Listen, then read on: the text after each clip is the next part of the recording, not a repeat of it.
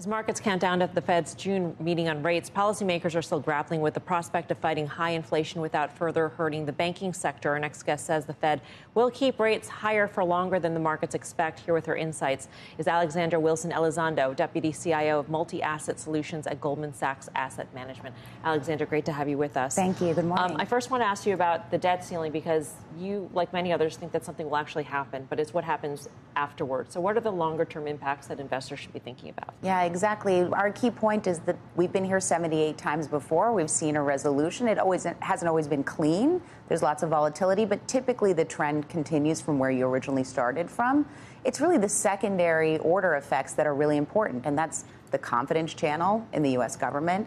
And that's in terms of fiscal spending. One of the biggest things that's driven the, the markets this year has been that fiscal support. We've seen over the last eight to 12 months, you know, so close to 800 billion of, of stimulus. And so if that fades and we ultimately do see some sort of, you know, growth patch that, that goes down, what's really going to drive us back out of that? And that's where we're spending our time right now.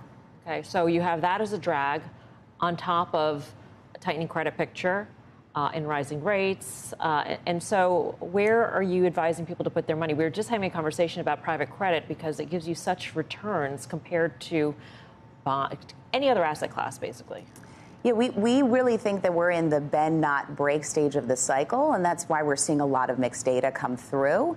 And in that time period, where while the Fed is keeping rates higher, um, the economy can very well, you know, stay positive and continue to grow, but just at a lower rate.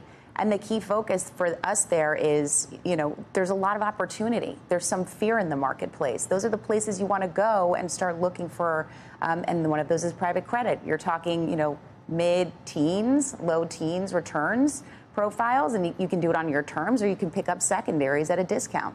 Um, and we think from a diversified portfolio perspective, that makes a lot of sense. Any other benefit to private credit is you're at the top of the capital stack in terms of risk, so people like that uh, prospect.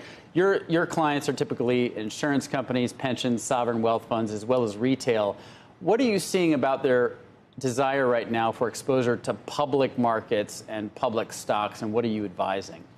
Yeah, one of the things that we've seen in the marketplace is that there's a lot of cash on the sidelines. Um, people have referenced, you know, really attractive yields in T-bills. Well, now T-bills are, are trading somewhat, you know, cheap because of the debt ceiling. Uh, we've been focused on saying stay invested. This is a market that deserves a neutral posture. Um, and when you look at you know equity markets, some of that resilience is because people have been underinvested in risk assets, and this could very well take us you know over a year-end time period, which we discussed, um, in terms of when we start to see growth turn down. And when you look at you know the positives, if you take the ledger and you look at the positives and the negatives in the marketplace, we see starting to see more positives, um, and we think that there's some upside risk. So this is a market where you don't want to sell the upside, but you can actually effectively cheat, um, buy cheap protection. And so that's what we've done to, you know, mitigate some of these, you know, volatile time periods like the debt ceiling. In terms of cash, I mean, it makes sense if you're earning 5% on short-term treasuries to just stay there and not go into stocks, right? I mean, that, that's what clients are thinking. It is, but this is, you know, it depends on your time frame. Are we, are we tactically looking at the market? Um, but we, we see so much resilience and there's so much information content in how resilient the market has been, how, how resilient credit spreads have been, even throughout the entire crisis in banking. Um, and, and when we look at tech, you know, which a lot of people are focused on, it's become 40% of, you know, the, the broader market. But there's so many reasons that it actually is trading the way it is, and it deserves to trade that way. And whether it's, you know, quality, you're looking at companies with, you know, X billions of cash on hand, um, free cash flow generation, whether it's trading on duration while, while the you know rates curve has been somewhat contained. The prospects for AI, that's driving a lot of this. Stuff. Exactly. And our global investment research team has been focused on, you know, over the next 10 years, you're looking at $7 trillion of, you know, uh, you know, potential pump into that space. And so in growth terms, there deserves to be somewhat of a growth multiple there. What, what, happens if the government actually decides to cut back spending even more and pulls back on the investment plans that have been put to this point? How does that change the picture, if at all? Yeah, I, I think that that's that's the big question, and that's why we're focused on that that second order effect of you know, clients are saying, when is the recession coming? And we're trying to change that narrative and the questioning. It's about how deep and wide it will be and what pulls us out. And if the government does really pull back, um, that that's going to be an issue. If the government really pulls back, the Fed continues to raise rates because they think inflation's still a problem. That changes the whole perspective. It, it, it somewhat does, but it also depends on timing. Um, and I think you know people have been looking for leverage in the system. You don't really have to look much further than the U.S. government. You know, at the peak in 21, we were at you know 134 percent debt to GDP.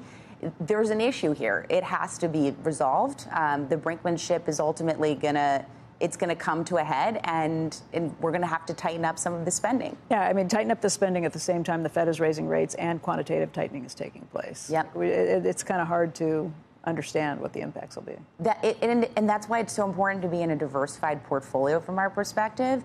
And even though the Fed is raising rates, we do find the hedging, you know, the hedging outcomes of fixed income to be really important. Um, and so we've seen, you know, 30 basis point backup in 10-year yields in a short period of time. That's starting to look attractive to us again.